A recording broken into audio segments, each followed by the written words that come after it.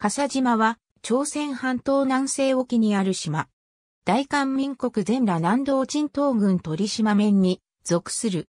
笠島は朝鮮半島南西端付近にある鎮東の西の沖合にある島嶼の一つである。島の北東に位置する穴島、松島、広島、東に位置する主の島、両徳島、南に位置する大小わっぱ島、ここわっぱ島、西に位置する馬島、さらに西に離れた外、久島、加徳島、節友島などとともに、笠群島を構成している。面積は約6.4平方キロメートル。海流の影響で年の半分以上は霧に覆われる。